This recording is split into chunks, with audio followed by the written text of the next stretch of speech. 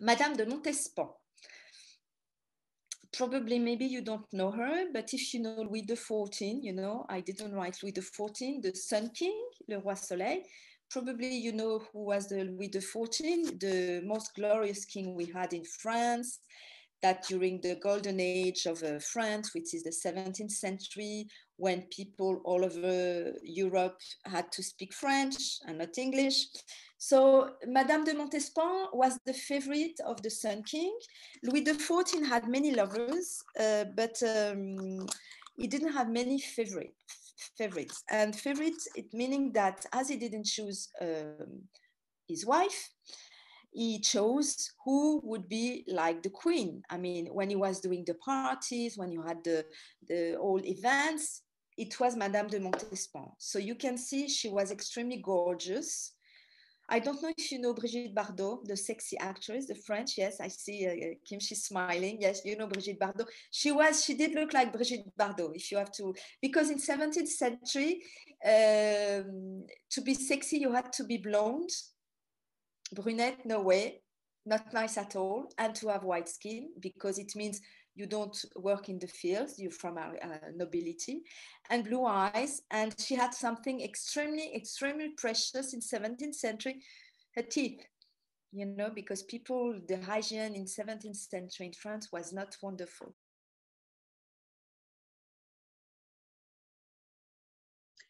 And now, dear ladies, on International Women's Day, a day that marks the celebration of women, the great women. It is my great honor to introduce our amazing speaker, a Parisian native, Edith de Belleville, who was an attorney for many years, but her passion for Paris and its history led her back to university at the age of 50 to get her official tour guide license Deeply inspired by Parisian women of the past, Edith decided to write a book in French entitled The Beautiful Rebels of Paris, Belles et Rebelles. Edith also teaches Jewish history at Paris in the University Gustave Eiffel, Marne-la-Vallée. And has just finished writing a book in English, which will be published in March 2022. So this month, Parisian Life Adventures in the City of Light. She shares Paris culture in a Facebook group, La Vie Parisienne. So without further ado, dear ladies, please welcome our guest speaker, Edith de Belleville. A communal friend, Bernadette Martin, introduced me to Edith, and she told us we'd be in for a wonderful treat. That Edith is so passionate about what she does, and she is very entertaining and charming. So, welcome, Edith, to Be Here Now Ladies Lunch. Group. Bonjour, can you hear me? Yes. Oui. Okay, perfect. So thanks for a nice introduction. First time I do meditation through Zoom from Australia with Australian accent. It's funny. So first of all, I'm very sorry for my Australian sisters. You know, I've heard what happened in Australia. I'm very sorry. I have a special link with Australia. I did a podcast about influential French women in English with an Australian journalist, Olia, who works on the Radio France Internationale. And it was funny because I'm not used to the Australian accent. And sometimes on the radio, I say, What? What did you say? I don't understand. So, and the, the woman who, who did the picture of myself on my first, the first book, uh, Belle Rebelle, she was, a, she's also Australian from uh, Sydney. Carla Edwards. So, and one of my favorite uh, movie, Don't Make Fun of Me, is Babe. You know the little pig? Yes, that's what that's a movie. I like Australian movie very much. So, let's try to be funny. I don't. It's early in, in France. Huh? Well, for me, it's early nine o'clock. So, about my book. Why did I write this book? Because I think um, that, um, well, I would say I don't believe in coaching. I, I believe in coaching, but I think the best coaches in life are the people who really uh, who really existed you know um, you talk about uh, Mother Teresa, Joan of Arc, and this is how I think. I think they are models of uh, women and as icons. So I decided to write about women, Parisian women, because I chose women who are from Paris like me, who really helped me, you know. Uh, uh, as I don't do meditation, I had to, you know, to know the life of this woman when I felt I didn't feel very well or, or I had friends of mine who did look like the, the five women because I wrote about five women. So, and to tell to the women from all over the world um, why they're so modern. Because we think because they're dead they're not modern but you will see how they're very modern. So let's start with the first one. You talk about joan of arc and this is a woman who was contemporary about joan of arc but nobody knows i mean few people know. C'est christine de pisan. Alors christine de pisan she's from middle ages she was born in uh, venice venezia in italy because her father was italian and she died in france it's funny because yesterday the French president was in Poissy, which is in the suburb of Paris. And I immediately thought about not Emmanuel Macron, the president, but me, I immediately, immediately thought about uh, Christine de Pisan, who died in a convent. So why is she so important woman? Because first, she's the first feminist, one of the first feminists in the world, because she she said that women have to help each other. But something happened to her. She's coming from the wealthy family. She she married a, a, a man who was um, not rich, but who did belong to the court of Charles V, so um, an intellectual, and she had children. So she had the normal life of a woman from Middle Ages in Paris, but something happened awful for her. She became a widow with three children, with a grandmother, and with a, a, nephew. And of course, I say in, in, my book, in Middle Ages, you don't have any, you know, health uh, care. You don't have help from the government. You have nothing. So the way I was really, really um, impressed by how she did succeed because she became the first woman to write and to be paid to write.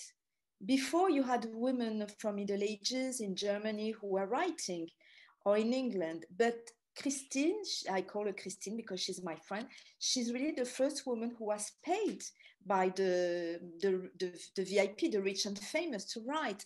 So how did she do? She, in fact, she wrote and in the night and she was reading books. And um, the, the lesson of Christine, because on each chapter I say one woman has a lesson to tell us, women from the 21st century, is thanks to the book. She found consolation thanks to the books, meaning she was so sad that what she could do, she was reading all the classics, you know, uh, Virgil and uh, Homer and all from uh, the Greek and the, the, the Latin uh, writer. She, she was reading, reading, reading, and suddenly she decided because she was so sad, she had her grief was so heavy, she decided to write poem. So she wrote poetry in the night, you know, you can see her with the, you can imagine her, the candle of the light, and she was writing poem about a loneliness, how she felt depressed.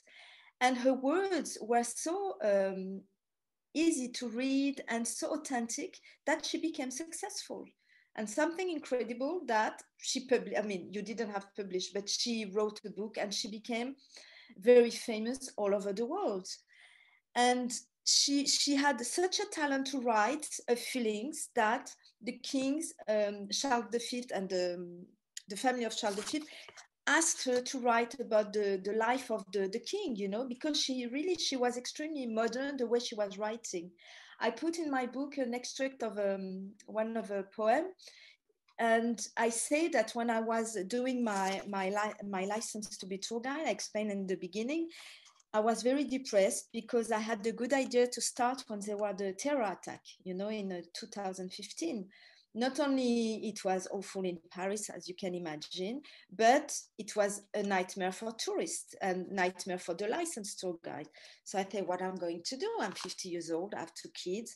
I'm divorced, I don't have money, and I want to be a tour guide when there are no tourists, you know.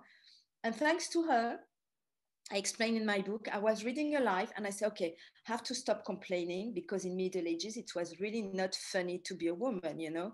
You could be raped just to go to buy you, your bread. You could be, you know, you didn't choose your husband. So that's, I, I really have a great um, debt uh, for Christine because she saved me, I say, from a not nervous breakdown, but when I saw all the obstacles she had and she did succeed, she became the first Western woman to write to be paid, I say, okay, I stop complaining, have to focus on the books.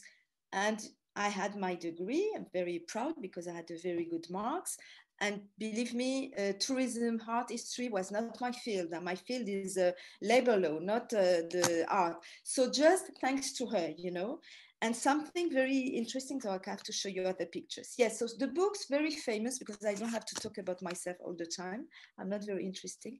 So the book, very famous, is The City of Ladies this is, you see, it's an image allegory that she said, we women, we have to help each other. Even the queen, we have to build our house to protect ourselves, to help each other using the words, you know. So it's a very uh, a poetical and very interesting, if you see the political um, idea of a book, you know. She said, we, we always talk about the men in history, but we forget women. So she decided to write to see history through the eyes of women from the Bible, from the French history. So it was a hit, a bestseller, even translated uh, in Flemish, uh, in Dutch. So you can see her with the Isabeau de Bavière, and you see it's funny, I explained the fashion, you know, in the Middle Ages, you had to have a very white skin and a big uh, forehead because uh, you seemed clever. And what is interesting that I found that you have a, a vase vase, you say in English, un vase, made by Émile Gallé. Alors, Émile Gallé is a famous Art Nouveau, uh, which is an artistical movement from Europe in 19th century. And I discovered that he made a vase, you know, with seulette. And seulette, it means in um, French from Middle Ages, alone, when you're a woman. Inspired by the poem I wrote in my book and I, which inspired me too, you know. So I said, oh, not only women, but Émile Gallé, who is a very famous uh, art uh, artist in Art Nouveau, was inspired by, by this poetry.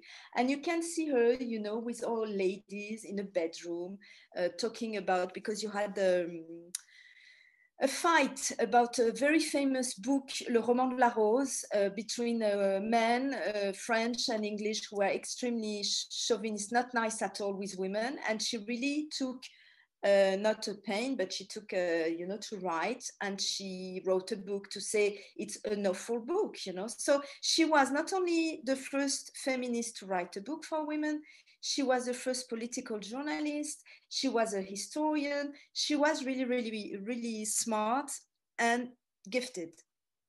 But you had the 100 years uh, against English. I'm not going to tell you because uh, we will stay all day about the 100 years war, but just to tell you that she wrote, Peace will come thanks to women she said we all we have always to think and look what happened now in ukraine. We have to think about the the sister of the warriors the mothers of the soldiers the the children you know. And she wrote la paix viendra des femmes. Peace will come from women. She wrote this all the times because she was devastated because you have to know in uh, 1418 that paris was invaded by the English and Bourguignon, who were the allies of the English. So it was a chaos in Paris. So she went to Poissy in a convent and she cried and she wrote about peace. And suddenly, guess what happened? 8 May 1429, what happened in Orléans, the city? A young French woman, 17 years old, only took English out of France, of Orléans, Joan of Arc, Jeanne d'Arc. So she was so excited. She said, I knew it, I knew it. I told you peace would come from a woman. For, um, and she even wrote a poem about uh, Joan of Arc. Uh, funny, it's uh, she, she was, I really liked her. And it thanks to the American woman in the 70s that she became well known because the French, you ask French people, people don't know her. And it thanks to the, always like this, always thanks to American women that the French know their history. It's always like this.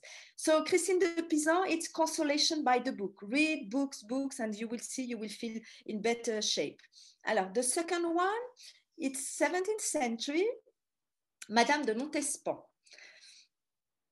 probably maybe you don't know her, but if you know Louis XIV, you know, I didn't write Louis XIV, the Sun King, Le Roi Soleil. Probably you know who was the Louis XIV, the most glorious king we had in France, that during the golden age of uh, France, which is the 17th century, when people all over Europe had to speak French and not English, so Madame de Montespan was the favorite of the Sun King. Louis XIV had many lovers, uh, but um, he didn't have many favorite, favorites. And favorites, it meaning that as he didn't choose um, his wife, he chose who would be like the queen. I mean, when he was doing the parties, when you had the, the old events, it was Madame de Montespan. So you can see she was extremely gorgeous I don't know if you know Brigitte Bardot, the sexy actress, the French. Yes, I see uh, Kim. She's smiling. Yes, you know Brigitte Bardot. She was. She did look like Brigitte Bardot. If you have to, because in 17th century, um, to be sexy, you had to be blonde, brunette, no way, not nice at all, and to have white skin because it means you don't work in the fields, you're from our uh, nobility, and blue eyes. And she had something extremely, extremely precious in 17th century, her teeth, you know, because people, the hygiene in 17th century in France was not wonderful. So you can see she was gorgeous, but it say, I say in my book, being beautiful is not enough to seduce. You have to be wit, you have to be smart, you have to know, to have knowledge. This is what I say. Because Madame de Montespan, she was extremely smart. She was like an actress. She was funny. She knew how to tell story. This is how she seduced the king. And she had uh, many children with the king. Uh, few died. Um, and she had to find the nanny to take care about the kids. And guess what happened? I don't know if you can speak or not with that. No, everybody is mute. It's only me who can speak. So what happened with the nanny? Do you know uh, Schwarzenegger, the government of uh, California? Or Jude Law, the British? Or Ethan Hawke, you know, with Uma Thurman? What, what do they have in common, the three men? Schwarzenegger, Ethan Hawke, and Jude Law. Do you, you don't know the gossip? You don't know the nobody guessed on the They chat. They all had lovers. They all had affairs with their with their nannies. Yes. Who say this? Who say this? Yes, yes, absolutely. They had an affair with the nanny. So what happened? Madame de Montespan, she took another woman, Madame de Maintenon, who was more quiet than her, brunette, but more quiet, very, you know, discreet. And what happened? The king fell in love with the nanny, but he did better than Jude Schwarzenegger, and Ethan Hawke. He married the nanny. So she was not the queen, she didn't have the power. When the wife, when the first queen died, Marie Therese, the first uh, queen, when she died, he didn't want to get married again. He said, I'm going to marry Madame de, Met- de Maintenon because I, I, love her. But it was, as we say in French, uh, you know, uh, in English too, morganatic wedding, meaning it's the queen, but she doesn't have the power of the queen. Mm-hmm. So it was a secret wedding. But can you believe it? That's why, you know, I say in my book, when I had children, my, my husband said, let's take a, a fille au pair. I think it's the same in English. Yes, yeah, an au pair girl. Mm. Yes, and I said no. I said no, Madame de Maintenon. He looked at me weird and he said, what? What do you say? No, Madame de Maintenon. I said, you don't know what happened with Louis XIV and Madame de Maintenon? You know Madame de Maintenon? He said, yes, I know. Of course I know her. She, she's from the Louis XIV court. But you don't know that he married the nanny, so you will fall in love with the nanny and you will, and you will dump me. So no, I don't want fille. So ladies, what do you have to, to, to learn from Madame de Montespan? If you take a fille au pair, take a really ugly one. But even ugly, you know, when you see the nanny of Schwarzenegger, not Schwarzenegger, of the kids, sometimes it doesn't work. But I, I thought if Uma Thurman and um, Sienna Miller and Madame Schwarzenegger, if she had known French history, not an opera woman, never. Okay, so that no, the, the the lesson of Madame de Montespan is be smart. Being beautiful is not enough.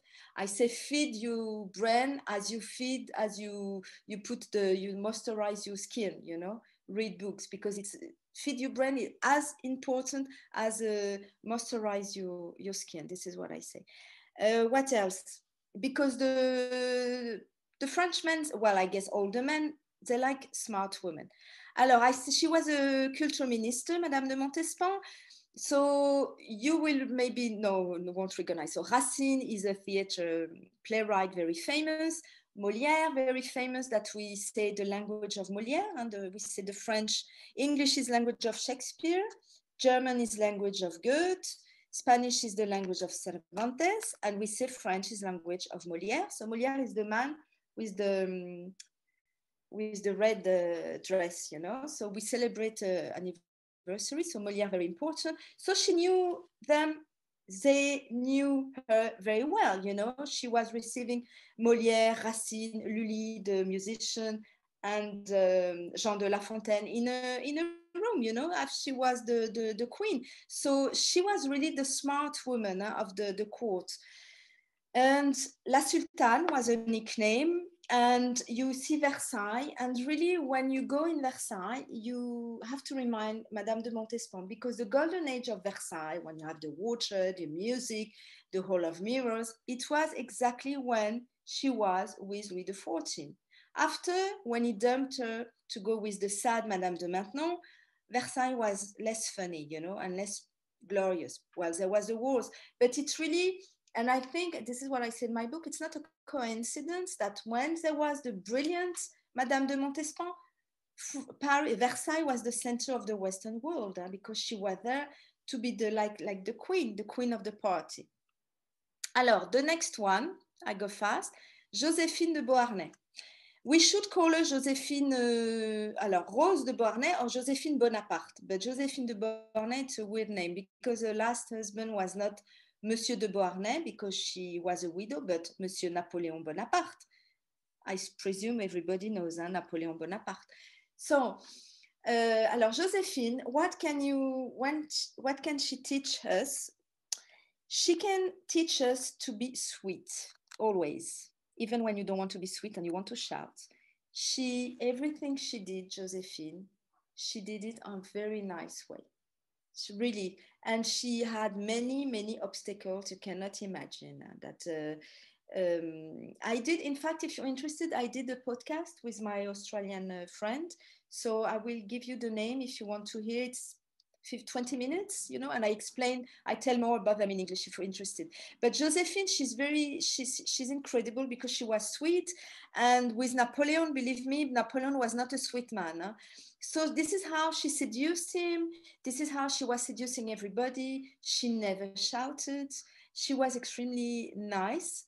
And, you know, she was doing something that's very useful. Uh, when you fight with someone, it happened to me, it happened to me a lot when you know somebody was not very nice with uh, him sometimes i have i want to you know send text message or call and be aggressive and in my mind i say don't do this do like josephine do like josephine. What she was doing because believe me many people were not nice with her especially when napoleon divorced with her you know she became uh, people didn't care about her. She didn't talk to the people you know she say okay i move forward. I don't want to be you know to be bitter. And she didn't shout and she forget the people. And really i think it's the best things to do in life forget the bad people and move forward. She always did this. So she became empress in 1804 which is uh, something uh, important. So this is the painting if you go in in le louvre or in versailles you have it's a huge painting of Napoleon and Josephine, you see, she became impressed, she had money and uh, she, she, she was, and she was still nice, you know, she always, she had a way to speak, always polite. She was polite with everybody. We say in, um, how do you say in English? Uh, a gentlewoman, you say this in English? You say gentleman for a man, but do you say gentlewoman if for a woman?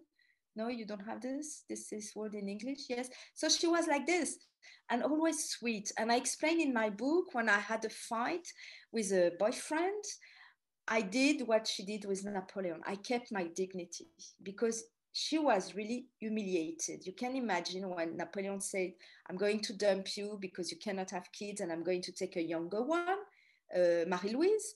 Uh, she was humiliated in front of everybody. And everybody said she was, she kept her dignity. She was very beautiful. She was crying. But even when she was crying, she was beautiful. You know, she was a bit comedian. But important, even when you, you think you're humiliated, think about Josephine, because what can be worse in life to be humiliated by Napoleon Bonaparte?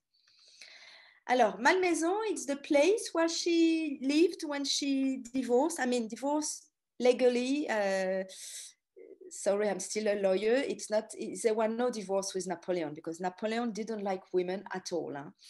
Uh, we always learned when, uh, when we're lawyer in the French school, Napoleon Code is wonderful. It is wonderful. It's true. It's wonderful. Napoleon Code that it, you have a, all the um, family law in South America is from the is French from the Napoleon Code, but when you're a woman, it's not wonderful at all, not at all. So it was a separation. Anyway, she was living in Malmaison. Alors Malmaison is not far from Paris, and I really advise you to go there. You can go by uh, by bus from Paris, and it, they kept it as you you can hear her talking. Josephine. You have, of course, Napoleon everywhere, but you have Josephine because it's really Josephine who made it, who made the Rueil Malmaison. Um, alors, the, the next one is George Sand. Alors, George Sand, she's not very well known by her books, but she's well known by her love life because she was a lover. I, I put you the name Frédéric Chopin, the Polish uh, piano composer that I suppose you know, and uh, not Delacroix, but Musset, who is a very famous uh, poet. But Chopin is more well known. So when you read about Frédéric Chopin, you realize that he wrote most of his uh, masterpieces were written when he was with George Sand. Alors, George Sand, she's well known in France because she was wearing trousers and you have to realize that in 19th century it's really not the golden age for women in france. Wearing trousers was forbidden. You could go to be on custody. Jail no but on custody yes. You had you you you could wear trousers only for two things. If you were riding uh, horses or bicycle or for uh, medical reasons so you had to go to the police station, and in my book I say, ladies, next time you you you put your jeans, think about this. Can you imagine before putting your jeans, you go to the police station of your city with a paper and asking to the policeman, give me a paper to authorize me to wear trousers? Can you imagine? So uh, she was wearing trousers. She was smoking cigars she had many lovers. She divorced i mean again she couldn't divorce but she she's the first woman in france who had the separation. She was really how do you, a it girl. And she even inspired uh, charlotte bronte. Sorry my english is bad. Charlotte bronte bronte i don't know if you have uh, I pronounce well. Yes you. So she was really the hit girl of europe george sand. And she took a name of a man because she wrote books she couldn't write books if she had a, a name of a woman because being a writer and being published as a writer as a woman in 19th century in france was exactly the same if you were a public woman a prostitute. So she wrote a first book in 1832 uh, called indiana a huge success. And the journalist said it's the bestseller of the year. And the man a writer was very angry. You will guess who, it, who, who was the writer he wrote The Hunchback of uh, Notre Dame the same year. It's Victor Hugo. He said, hey, you're nice, but me, I wrote a masterpiece. It's The Hunchback of Notre Dame. So that's my book, which is the bestseller of the year, you know, just to tell you that she, I wouldn't say she was more well known, but she was as well known as Victor Hugo because she wrote about how men treat women in France in 19th century. She say the honeymoon is not a honeymoon, it's a rape because women don't choose the husbands, they know nothing about sexuality. So she said it's a crime, you know. So many women bought a book. So George Sand is really a, a woman who said the freedom. What is important is to be a free woman. The painting you have is Delacroix. Uh, he was a very good friend of George Sand. Delacroix is a classical, one of the best French painter from 19th century. He was the flag of the romantic painters. Unfortunately, the painting was cut and Chopin is uh, in the Louvre, but George Sand, is not in the Louvre. Alors, she had an affair with Alfred de Musset. Alfred de Musset is a very famous romantic poet. And, you know, in my book, I say she always loved younger men. So one of the lessons of George Sand is free to love who you want. You don't care if the man is younger because she always loved younger men. Uh, seven years old, five years old, um, younger, sorry, five years younger, seven years younger. Imagine 19th century. Yeah? She didn't care. She was doing really what she wanted. So in the chapter of George Sand, as I didn't love a man younger than me, I talk, I wrote about a friend of mine who reminds me George Sand. I had two friends who reminds me George Sand. One married a man really younger than her, so she explained me how French society. And you see, when you see the French president, he married a woman who is uh, 20 or 24 years older than he is, you can imagine how the French reacted, you know, not very well. So you think, oh, no, it's not a big deal. But I think it's always a problem when a woman loves a younger man. And it shouldn't be a problem because it's never a problem when it's the reverse. So George Sand, I think the, the lesson of George Sand is free to love who you want, something important. You don't care about what people say. Uh, alors, the last one is Sarah Bernhardt. So I know in English you say Bernhard, but in French we say Bernard because we don't pronounce the H. Sarah Bernard. So Sarah Bernard, it's really the lesson is assume who you are, even if you're not perfect. Because really, when you read about how she was, you're wondering how she, how come she was so successful. She was skinny. When the woman, it was Belle Epoque, so 18, 1880 until uh, 1914. You know, the Belle Epoque is 1880 until the First World War. So she was skinny when the woman had to be curvaceous. She was red hair, you know, when women had to be blonde or she didn't have the good color of hair. She was Jewish when uh, you had the Dreyfus affair, which was a very big, big affair with uh, anti-Semitism and awful, and she assumed she said she, she felt Catholic herself, but she, she never denied she was also Jewish. She said, yes, I'm Jewish and what? So she was uh, single. She married, but late. She was a mother with a, a single mom. Can you imagine? And she was an actress. So she had all, you know, everything wrong to be, you know, the hit girl. And she became the hit girl because I think this is what she decided. She said, I will do what I want in life and I will assume who I am. And I think that in the world now, we pretend be unique, be yourself on Instagram. And I think it's exactly the reverse. I mean, you know, we use Photoshop to look younger, we want to be slimmer, we want to, you know. And my model was uh, Sarah Bernard. I tell you why, because I started to be tour guide. I was not a spring chicken. I like this expression. I learned from an English man who told me, You're not a spring chicken. Uh, so I, I, was not a spring chicken, and uh, so I was not. Uh, I'm still not very young to be a guide, you know. And I was there was many young women, fresh women, you know. And I remembered my English teacher. She was half Australian, by the way, Patricia. That I really loved her. She was so great. She said, when you have uh, Anglo-Saxon uh, clients, you cannot smoke, you cannot smell the, the cigarette smoke.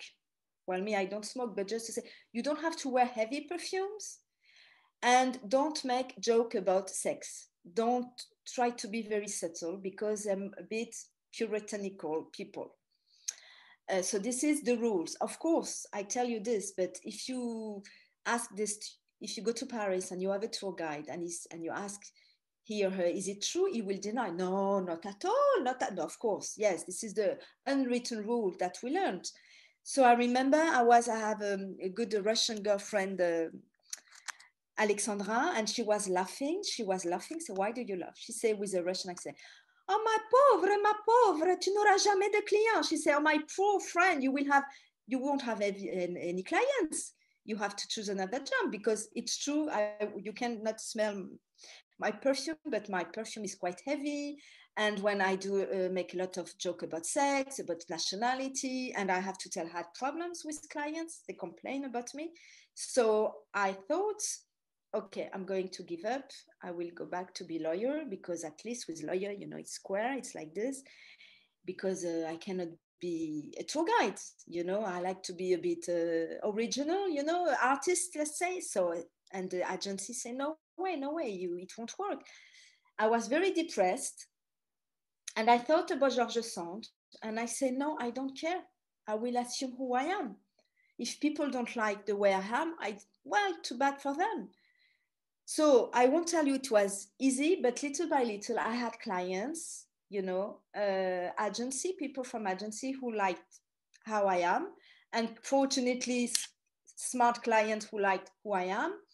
And I had, uh, you know, I didn't work with a classical agency, let's say, but I work with agency who want guys who are a bit uh, more original and more, you know, authentic. So it worked, you know, it took me time, but it worked just to tell you uh, that it's important to stay as you are and not trying to really to look like a, a French woman, a Parisian woman, or any woman, but to be to stay as you are because I think this is what uh, Jean Cocteau said.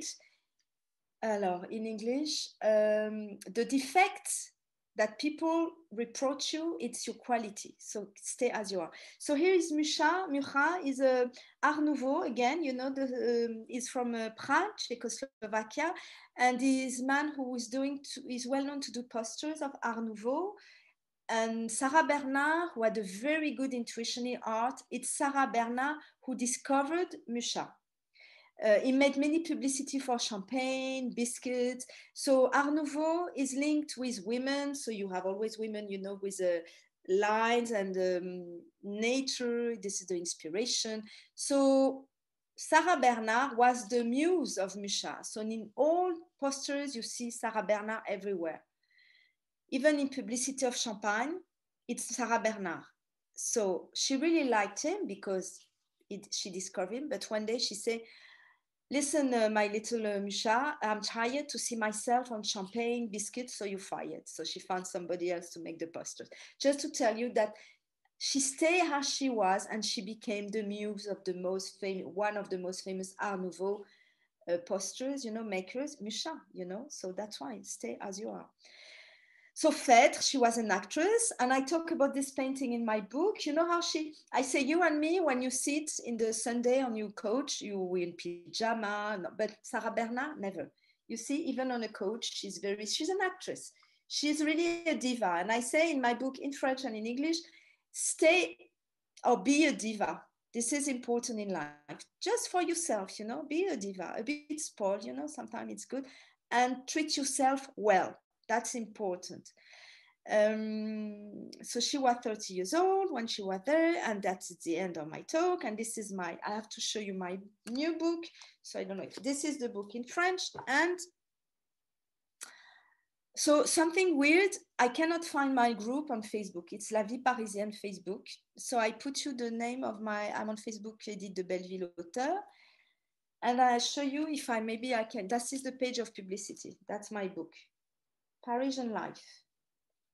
Parisian life, adventure in the city of light, you see. I'm very emotional because it's the first time I show my book. Nobody saw it except my kids. So yes, so in Australia and in US, and I'm very proud. So that's my book. Voila, I finished my talk. Thank you.